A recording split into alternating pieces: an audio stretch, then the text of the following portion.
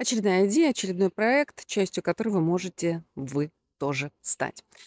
В этом году юбилей Алексея Викторовича Щусева, уроженца Кишинева, где я нахожусь, рядом с одним из его творений, так называемой дачи Корчевского, дачи Корчевский, которая находится, раньше называлась Долина Чар, сейчас-то Долина Рос. Таких мест, связанных с Алексеем Викторовичем по республике, несколько.